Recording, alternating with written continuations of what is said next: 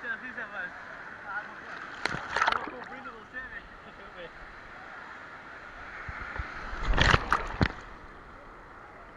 Caramba, vindo